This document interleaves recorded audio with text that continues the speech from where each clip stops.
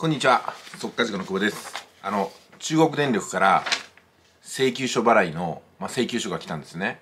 で金額が2万958円ということなんですけどもここにバーコードが載ってるじゃないですか。でこのバーコードをねこの PayPay のアプリでこうスキャンするともうね自宅で払えるんですよね。ありがたいですよね。こんな感じですよ。こういう風に移すとちょっと待ってくださいよ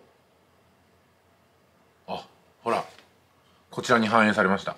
簡単でしょ？でこれで今すぐ支払うにするんですよ。そしたらね PayPay のポイントバックはないと思いますけども支払い完了で手間いらずですよね。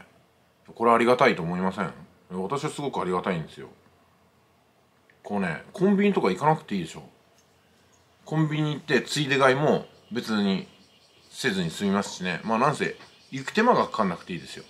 こうなると地方でもコンビニがどんどん減るんじゃないかなっていう気もしないでもないんですけども。どんなもんなんでしょうかね、うん。まあ、ということで今回も PayPay によって電気代が払いました。ありがとう。お疲れ様でした。すごい簡単です。